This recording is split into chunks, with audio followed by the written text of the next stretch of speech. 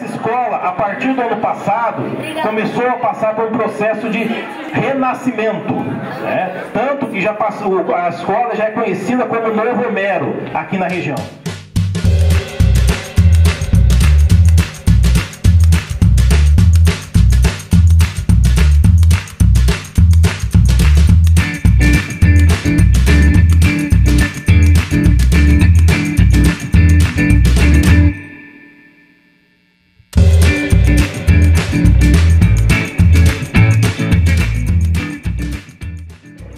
Gente pode fazer em parceria junto ao município, ao prefeito Rafael Greca, seus subprefeitos aqui, para dar uma melhor qualidade de vida para vocês?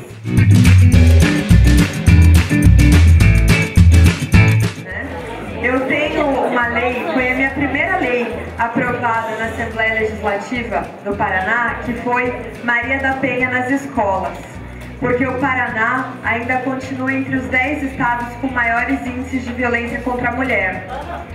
Isso de mulheres que denunciam, né? Imagine aquelas que não denunciam. Então a gente trabalhou bastante para desenvolver um jeepzinho que a gente espera poder distribuir em breve conscientizando né, de que violência contra a mulher é crime, com todos os números de informação que vocês vão poder levar para casa, vocês e todas as escolas, as crianças e adolescentes do estado do Paraná.